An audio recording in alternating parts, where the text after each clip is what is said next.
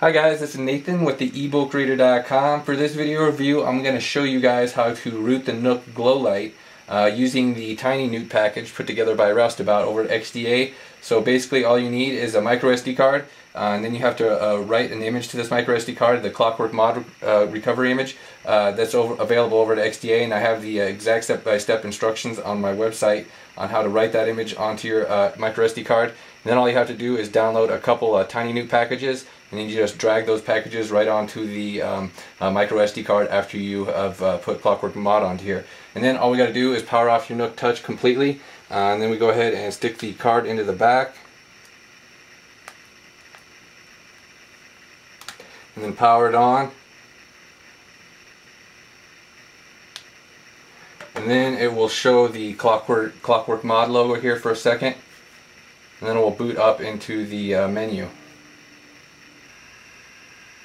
and then from there we can install the TinyNoot package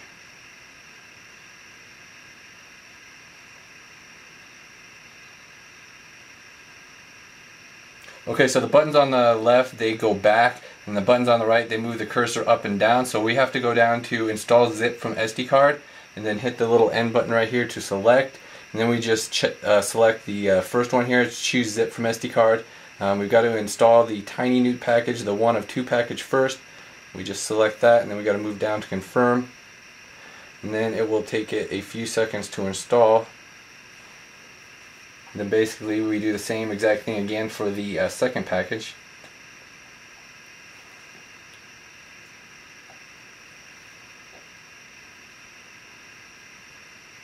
Okay, so once that's done, we just select choose zip from SD card again. We go down to the second package and then install it.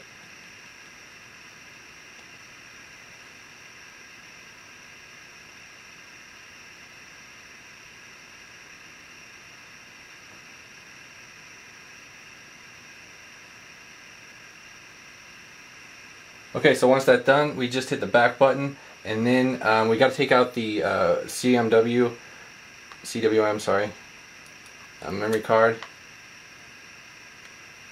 and then we hit the uh, reboot system now and it's good to go. Your Nook Glow is actually rooted now and it's got the Amazon App Store installed. So this package, uh, like I said in the written directions, it doesn't come with the Google App Store uh, because that takes some more technical work. That'll probably be down the road a ways. Um, but uh, with this, it does everything that the uh, other package does basically. You got your Nook Touch rooted and you got the Nook Touch tools in here. We've got the different things we need to install apps. We've got the Amazon App Store. And then once you load that up, you can get some other apps like a web browser and you can download apps from other app stores. So the first time that it loads up, it's going to take it uh, quite a bit longer than it normally takes. And then once we uh, get to the load screen, um, after it loads up, I'll show you a couple of tips for getting started.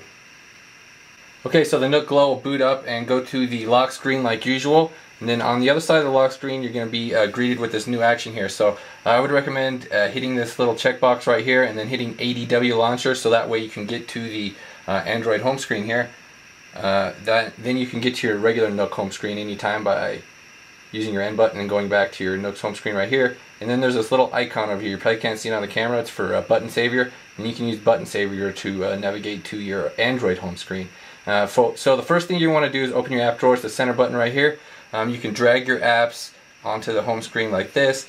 Um, so you can use the Amazon App Store to download apps. But the first thing you're going to want to do is open up Nook Color Tools right here and then uh, uncheck and then recheck allow non-market apps. That way we can install apps now uh, when you go to the Amazon App Store. So uh, one thing that I did is I went ahead and installed the Opera web browser and then from there I could install other app stores and other apps uh, so that way I could get my uh, Nook Glow running. So you just hold the button like usual and the glow light turns on. You can access it up there just like uh, before rooting and obviously your whole Nook uh, package still works the same. So this has just been a quick look at how to root the Nook Touch using the TinyNoot package thanks to uh, Roustabout over at XDA. Check out theebookreader.com for some additional information as well as XDA. I'm going to go ahead and post uh, a review tomorrow uh, showing some more in-depth stuff what you can do with the uh, Rooted Nook Touch. So uh, check that out and thank you for watching.